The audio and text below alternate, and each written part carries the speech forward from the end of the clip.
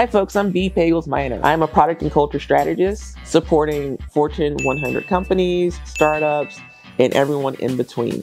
I'm also co-host of the podcast, The Drops Podcast, activist, and true tried Southerner. Welcome to my page. You know, it's so interesting when you think about someone's journey. So first of all, I cannot tell you enough how the expression is, you know, you don't know what someone's been through or you don't know what someone's going through until you've walked in their shoes. I think it's an amazing expression and it's absolutely true. So for instance, myself, you know, a lot of people look at me now. They look at me as someone who has worked at some of these large, amazing corporations, someone who's a, a great speaker, someone who's won awards, and they assume I've essentially always had this. Like I've always had a great job. I've always had a great income. I've always known that I would be successful. And the reality is, it is a complete surprise. Like I honestly, if if you had asked me as an elementary school person or a teenager or a college student, if I thought that I would be here, I would tell you no. In fact, all I really wanted was to like actually when I was in high school I wanted to go into the military I really wanted to go to the Navy I wanted to be an intelligence officer but guess what you can't be an intelligence officer. You can't go in the Navy if you have a disease like thyroid disease, which is what I have, right? And so if you, I have to take a medication every single solitary day, or else I could become very ill, right? And so I couldn't go to the military. So then I decided, well, I really do have to go to college. What the heck am I going to do?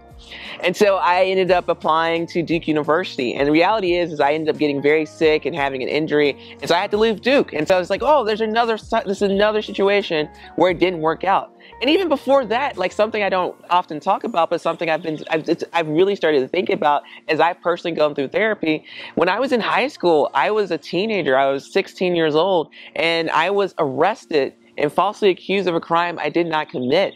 And I almost went to jail as an adult, as a 16 year old, right?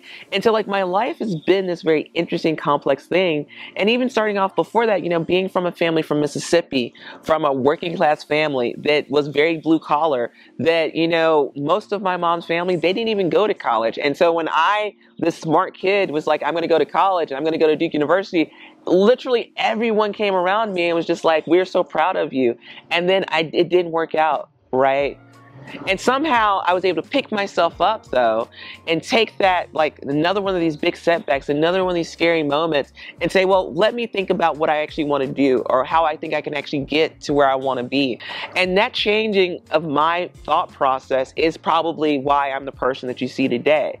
Because what happened is, is I started looking at all the colleges in the country that were pretty good colleges and started thinking about where these colleges versus a good city so I could actually get a job while I was going to school so I could get the skills that I needed to actually get a job after I graduated. So that's how I ended up in Northwestern University. If I had not ended up in Northwestern University, I might not be here today because then I got diagnosed with thyroid cancer as a junior in college. And I was so fortunate because I didn't have insurance. This is before it was normal for you know kids to have insurance until they were 26 and so my university helped me get insurance and then also transported me to the doctor to make sure i got treatment.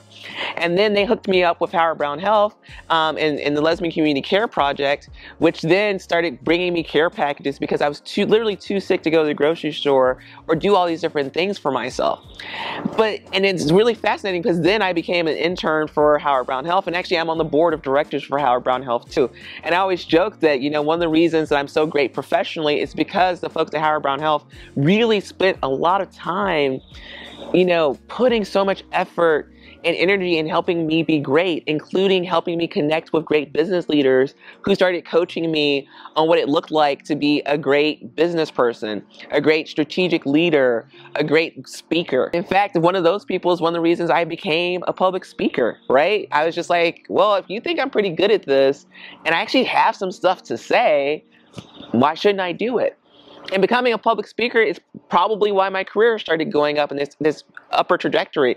I would speak at a place talking about product management and product, product strategy, and that person would then say, Do you want to come over and consult with my company, or would you consider working at my company? And in fact, I was speaking at Lesbians Who Tech in 2018 when a recruiter from Apple saw me and was so impressed with my talk, they suggested that I work at Apple. And then that is what how I ended up getting recruited to Apple and moving to California from Chicago. And so, you know, from there, you know, my career just took off, you know, working at Apple and working at Netflix and then taking the time off and really starting to think about what I wanted to do for a long time, it really just became clear my entire life, my entire career I thrive on teaching people, on helping people, on allowing people to be the best versions of themselves.